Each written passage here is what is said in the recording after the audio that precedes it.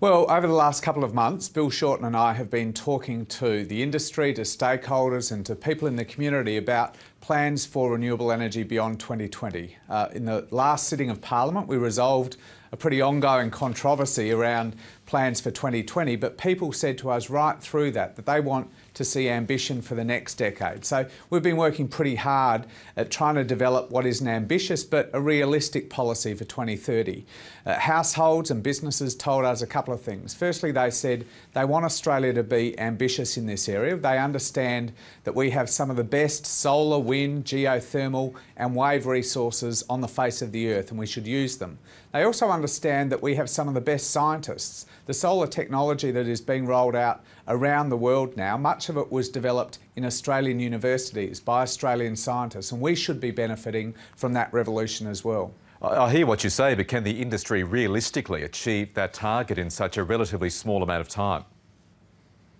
Well, it is ambitious, but we've been very careful to talk with industry, read the reports, take the advice on what is realistic, and we're confident that 50% is an ambitious but a realistic goal. I think people understand out there in the community, as much as in the industry itself, that there is a revolution that's going on in the electricity sector, not just here in Australia, but around the world. And uh, things are changing very fast, not only in the way in which electricity is generated, often at a household level now, not just in big baseload power stations, but also we're on the cusp of a storage revolution, particularly with batteries, so that people will be able to have more control over how their energy is produced, what they pay for it, and when they use it.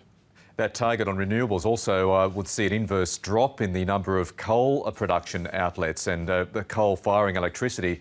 The current renewable energy target, I think, is settled at what, about 23% by 2020. Therefore, you're looking at a 27% drop in coal production in a decade. What impact will that have on the industry? Well, of course, that depends on what the demand is over the course of the 2020s, and there are different views about whether electricity demand will increase or whether it will stay pretty flat. Uh, so we need to be conscious of the fact that we don't quite know where total demand will be in 2030 and we need to keep talking to industry to make sure that our policy works for everyone. But we also need to recognise that completely separate, aside from the revolution that's happening in renewable energy, much of our existing thermal plants, so coal-fired and gas-fired plant, is getting pretty old and over the next 15 years in any event, Australia would have to be starting to talk about renewing our energy generation infrastructure. We've seen just here in my state of South Australia in the last few weeks some very old plants, one of which was built more than 50 years ago, uh, be uh, closed down, or at least the announcement of an impending closure. And, uh, you know, this is something, a conversation we'd be having to have anyway. What impact will a 50% renewable energy target have on power prices?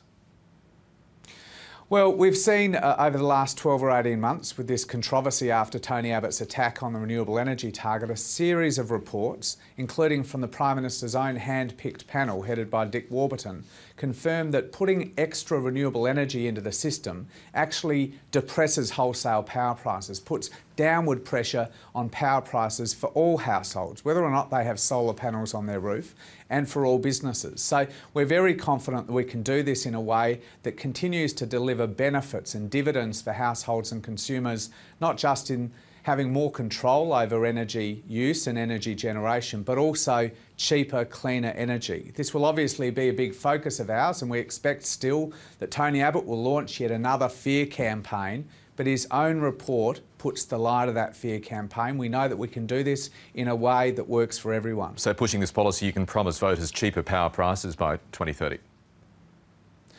Well, we know that, that wholesale power prices will be lower with extra renewable energy than they would be without it. This is going to be a benefit for households and consumers, not only in having more control and seeing a cleaner energy system for their country. We have one of the heaviest polluting energy systems in the world, but importantly also having downward pressure on power prices, which is so important for households but also for business.